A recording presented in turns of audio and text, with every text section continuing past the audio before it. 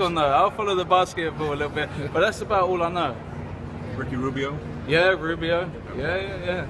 Yeah, so that's about it. Can you name me any famous Minnesotans? No. No, I'm sorry.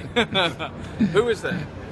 Well, there's Prince, there's Bob Dylan, there's there's a ton of them. Keep going. I'm interested. now. Tom Lehman is, is a Minnesotan. Oh, really? Uh, Garrison Keillor, the writer.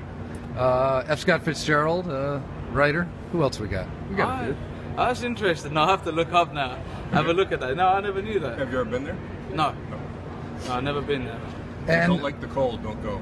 yeah, that's what that's what I hear. Yeah, talk about how nice it would be to make the Ryder Cup team. massive. What you dream as as a kid, you know. Um, th- th- they're the things you want to be in